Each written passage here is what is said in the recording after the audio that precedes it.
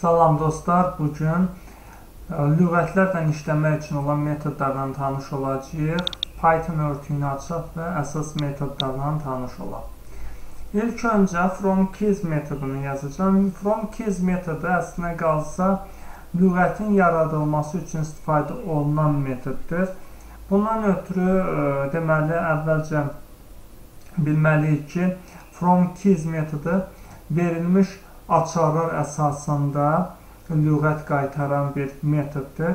Ona görə də açarların olduğu kortej tərtib edəcəyik. X korteji deməli açarlara malik olsun. Bundan ötürü əlbəttə ki, elementləri daxil edək.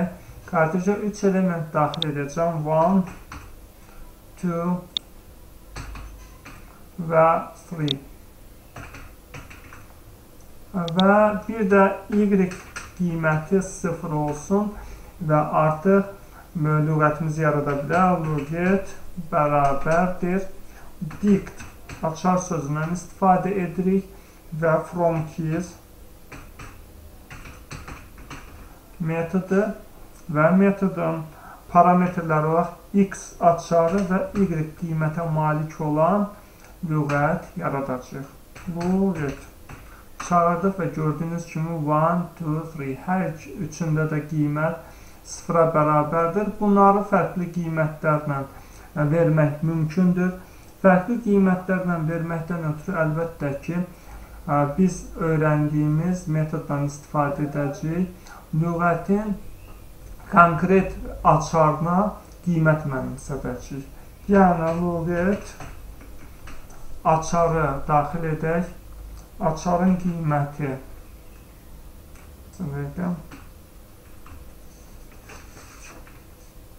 açarın qiyməti olacaqdır. Əlbəttə, ilk öncə 1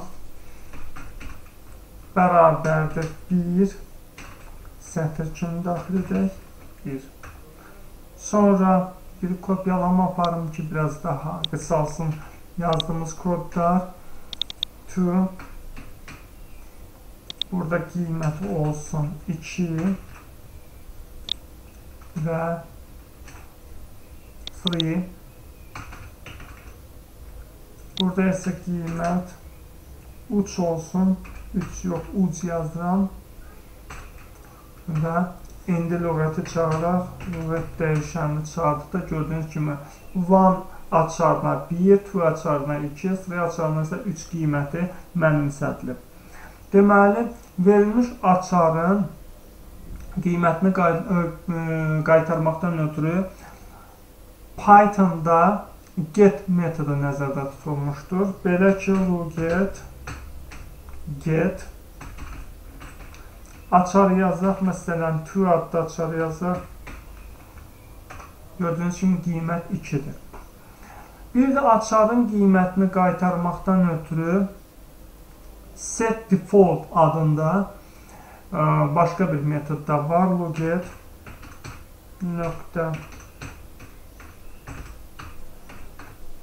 set default burada açar yazaq. Burada açar olaraq hansı açar yazın? Vanı yazın. Qiyməti bizə verəcək 1. Əgər verdiyimiz açar lüğətdə yoxdursa da o zaman həmin adda açar yaradacaq. Bu metodun əsas fərqli tərəfi və əsas xüsusiyyəti budur. For adında bir ə, açara müraciət edirik, amma bildiyiniz kimi bizim lüğətimizdə ancaq 1, 2, 3 adında açarlar var. Odur ki, for adında açar olmadığına görə onu özü təyin edir və ona qiymət olaraq non boşluq ə, nə edir? Mənimsədir. Başqa bir ə, deməli metod isə update metodudur.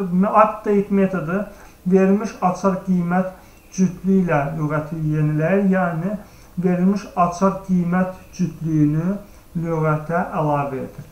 Bir növ lüğətlərin birləşdirilmə əməliyyatını yerinə yetirir. Bu ə, e, metod lüğət lüğət nöqtə dedik update Aha, İndi ə, e, burada arqument olaraq lüğət verməliyik. Açar və qiymət cütlüyünə malik olan bir lüğət. Burada 5 və qiymətdə verim 5. Və indi lüğət dəyişəninin çağrası olsaq, görəcəksiniz ki, 5, 5 qiymət, açar qiymət cütlüyü lüğətimizə daxil edilir. Eyni zamanda Pythonda lüğətin ə, deməli kopyasını, nüsxəsini qaytaran metodlar da mövcuddur. Məsələn, bir ə, z dəyişəninə lüğət nöqtə copy metoduna verməklə biz z dəyişəndən lüğətin nüsxəsini mənimsətmiş oluruq. Başqa bir metod isə items metodudur. Hər qiymət açar cütlüyü üçün kartejlərdən ibarət siyahı qaytarır. Yəni bunun qaytardığı e, qiymət e, nə olacaqdır? Siyahı olmuş olacaq. Bunu görməkdən ötürü e, metodumuzu işlədək. Z bildiyiniz kimi lüğət adlı deməli lüğətin, zaten dəyişənin kopyasıdır. Ona görə də bu dəfə Z obyektindən istifadə edəcəyik. Metodumuz olacaq items və e, burada e, biz nə edəcəyik? E, sadəcə olaraq funksiyanı enterlə yekunlaşdıracağıq və gördüyünüz kimi dict items adında bir nə qaytarıb, siyahı qaytarıb hər bir qiymət açar cütlüyünü ayrı-ayrı kartejlər halında bizə təqdim edib. Sonra lüğətin açarlarından ibarət siyahı qaytarmaq istəyiriksə də Z keys istifadə edirik. Və bu halda lüğətin ancaq açarları qayıtmış olur. 1, 2, 3, 4, 5 kimi. Əgər lüğətin qiymətlərindən ibarət olan siyahı qaytarmaq istəyirsə də o zaman Z values Bu halda 1, 2, 3, non və 5 ə, olan qiymətləri qaytaran bir nə almış olduq? Ə, siyahı almış olduq. Bundan başqa verilmiş açara malik elementi lüğətdən uzaqlaşdırmaq mümkündür. Luget nöqtə Deməli, bundan ötürü pop metodu istifadə olunacaqdır.